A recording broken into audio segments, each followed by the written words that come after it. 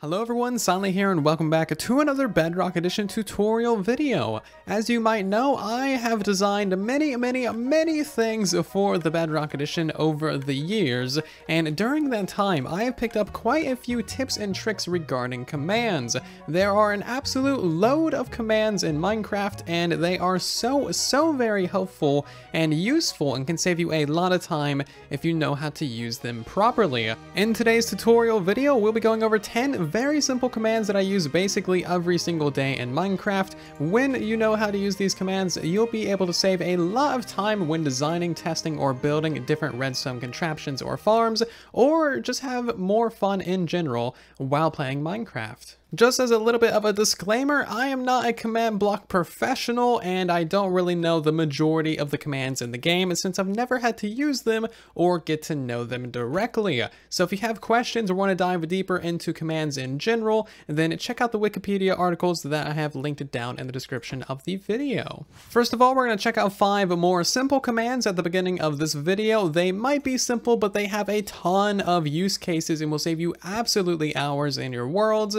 and then at the end of the video, we'll also check out five more complicated commands that are equally as useful. Our first command is the very simple but extremely powerful fill command, simply slash fill, and this command will allow you to place, break, or replace blocks in your Minecraft world. So for example, if we want to build a giant roof of stone in our world, we can run a very simple fill command. All of these numbers in here are simply the coordinates that we want the roof at. We enter that command and well, bam, we just placed 7,416 blocks with no effort at all. If you're building something on a large scale, fill commands are your friend. You will want to get to know fill commands. I probably use fill commands more than anything else in the world because they are just simply so useful. And of course, you can also run a fill replace command to target a specific block of your choice. So for instance, if we want to replace all of the stone with a different block, we don't need to remove the other blocks that we have in the area, we can simply run a replace command. So let's replace all of that stone with diamond blocks. It's going to be like diamond block zero, replace stone, for example. And as you can see, we now have all of that stuff filled in. Now, one of the most annoying thing about fill commands is the fact that you need to put in the coordinates for the two corners that you need to fill in. So for example, if you want to fill in this platform again, you got to get the coordinates of this corner, fly all the way over to that corner, and then get these coordinates as well, which is not very fun at all. However, you can actually bypass that by running commands using a tildes. So let's go ahead and use a fill command. We're going to go ahead and put the little squiggly tilde line and then just fill those in. This is going to execute the command right where you're standing. So the little tildes are basically where you are in the world. So if we do this, it's going to make a 10 by 10 by 10 cube centered on us. And of course, we're going to make that out of TNT because we're special like that. so now if we move over here and run the same exact command, you can see it's going to fill in that cube of TNT over there. We can go anywhere in the world and the command will work just fine. There's also the fill destroy command, which will, you know, basically destroy the block and drop it as an item. As you can see there, destroyed all of that TNT and dropped it as an item. These are just glitch blocks. You can ignore those. And for the final trick, there's also the hollow command, which will make a giant cube. However, it'll be completely hollow, as you can see, and it is actually surprisingly useful in a variety of different situations. And next up, we have the clone command. Basically, the clone command allows you to copy paste different things in your world to different areas. So if we run this clone command right here, that's going to give us a brand new advanced trident killer sitting right here behind us, which is pretty beautiful. This is extremely useful and very convenient testing all kinds of different redstone contraptions. You can clone your device to a bunch of different areas and then you can test like 10 of them at one time and it is, is just so very convenient, especially for trident killers because these things need a lot of very intense testing to make sure that they work for a long time. So as you can see, we can just copy paste these things. Now, what you need to do for a clone command is you need to get the coordinates of the two opposing corners. So for this one, you grab the coordinates of this corner right here, and then the coordinates of like this corner right here. That way your entire build is pasted into the command. Now, also, when you're running the clone command, I would suggest running it to like far away from where you want to actually build. That way you know how it's going to be orientated. You might expect it to paste off in like this direction, and it turns out that the thing pastes is behind you. That could destroy some of your work. You want to be careful that you don't accidentally like paste over something in the world that you actually need. Keep in mind, clone commands are not perfect. For instance, some types of redstone components will break after being cloned, like redstone torches, and also clone commands do not copy over entities, so things like animals, villagers, mobs, tridents, armor stands, minecarts, none of those things will get copied with a clone command. However, it is still very, very useful and can save you a lot of time. I think we can all agree having a potion effect is a very desirable thing, especially in creative mode where you can have just like infinite access to potions. So your first instinct might be to grab a night vision potion or maybe a strength potion or something to do whatever you want. However, we have the power of the effect command. This will give you any effect in the game. If you run it as S, that is going to affect yourself. So you can give yourself like night vision up to like a hundred thousand seconds. You can put up to six digits in here. That's actually nearly a million. and then you can also give it an amplifier up to 255. Now keep in mind these amplifiers are kind of broken. Most of the time you won't need anything higher than 20 because it kind of just breaks the game any higher. And then also, you know, that's that's fine, but you get these like little fart bubbles. These things are the most annoying things in the world.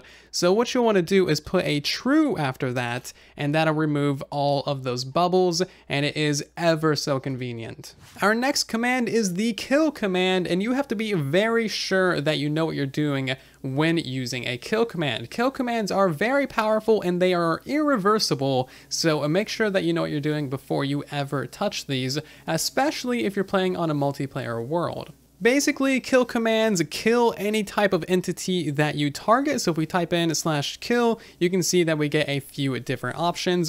At A will kill every single player in the world. Probably not a good thing unless you're an evil person, but there is one command that is worse than that, and that is at E. You may have seen the memes about this online because it is basically the worst command to run. This will kill every single entity in the entire world. Never run a kill at E on its own. However, we can add some different arguments to this and that'll give us a lot of different control over what we kill. So if we type in kill at E bracket type, then we can put in the actual entity that we want to kill specifically. So if we have a problem with bees, we can target bees like so, and that'll kill every single bee in the entire Minecraft world, which may or may not be desirable. Another thing that you can do is also put a radius on your kill command. So put a comma, r equals, and then the block radius that you want to kill things in. So if we put an r equals 10, that's going to be a radius of 10 blocks around the person that is executing this command. If we run that, that's only going to kill those bees because they were the only ones within 10 blocks of the player. Another thing that you can do with kill commands is target the opposite of something. So for example, if we go ahead and put an exclamation point in front of our bee, that is going to kill everything that is not a bee in your Minecraft world. This could be useful for various different situations where you want to kill everything that isn't a player, for example. And of course, you can also put a radius on this too. So if we put a radius of 10, that is going to kill everything not a bee within 10 blocks of us. Of course, there's nothing within the area, but if we spawn in some cows and then run the same command, you'll see that it kills all of those cows, but it doesn't touch the bees. And next up, we have the summon command. This allows you to summon any kind of entity in the game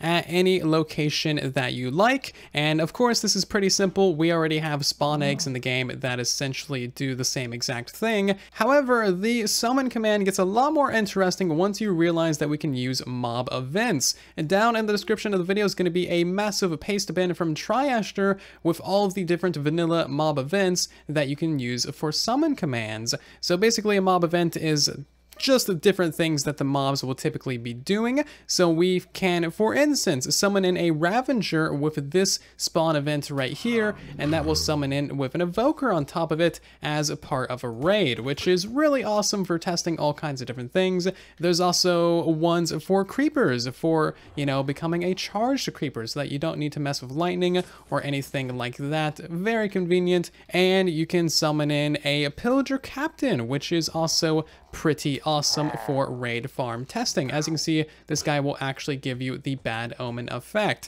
So you can do that for pretty much any kind of mob in the game. If it has a thing that it does, there's going to be a mob event for it and you can summon it in doing that action or being in that state. So those are all the very simple commands that will give you a massive leg up in your creative worlds when it comes to designing, building, testing, and just having fun in general. Now we're going to get into some slightly more complicated commands, and these are just going to be execute commands.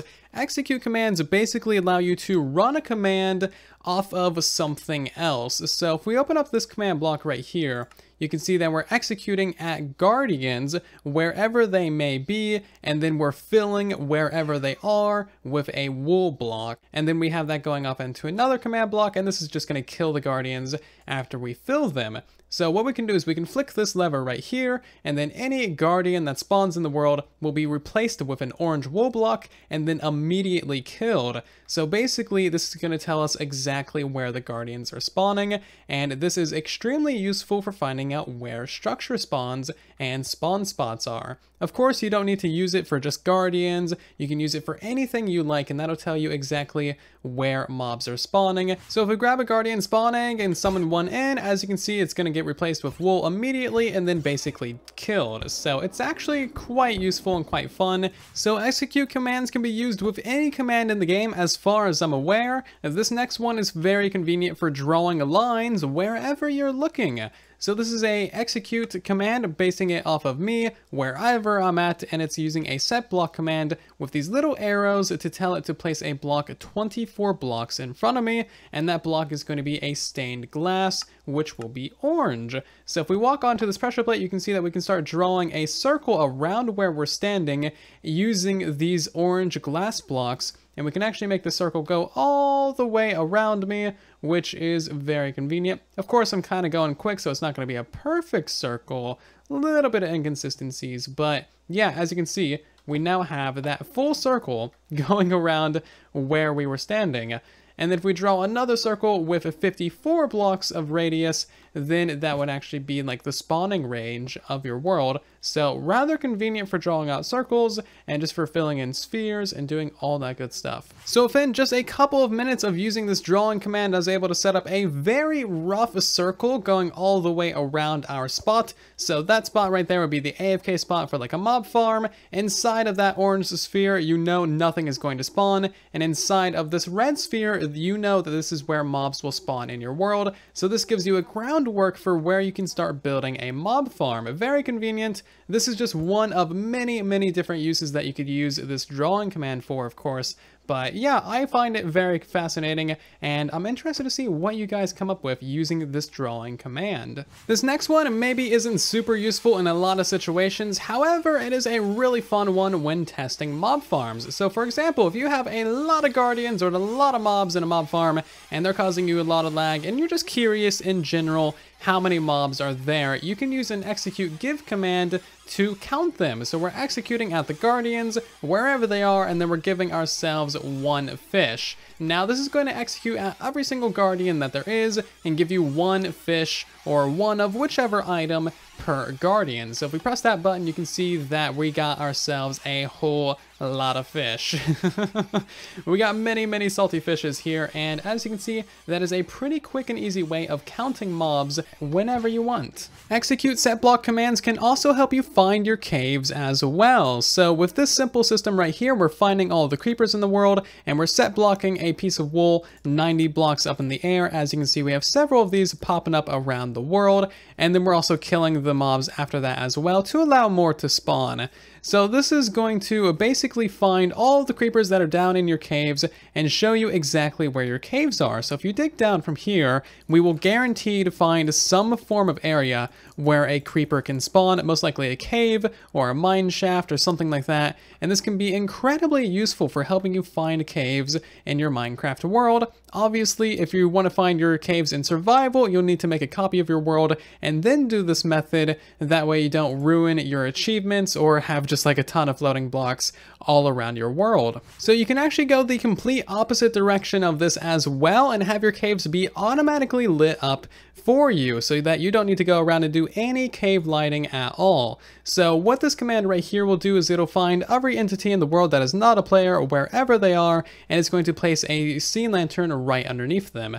So basically a mob will spawn underneath the ground in your caves in a dark area. It'll get a sea lantern placed right underneath it and then be immediately killed, allowing more hostile mobs to spawn. So if we go down this hole right here into our mine shaft, we can actually see that several different mobs have spawned down here and they have been replaced with sea lanterns. So we're automatically lighting up all the caves throughout this world and it's really cool. Of course, this is also going to affect the passive mobs in your world as well as you can see around us and it's also going to affect items too. So it could use a little bit of tweaking if you don't want to have all of this happen, but mostly this is going to be very helpful for testing things like witch farms or passive mob farms or really any kind of different farm that you're trying to build in a creative world where you don't really mind the mess. And you can probably guess what the final one is going to be, one of my favorite commands, an execute fill command. So this one right here is going to be executing at me and filling a pretty large area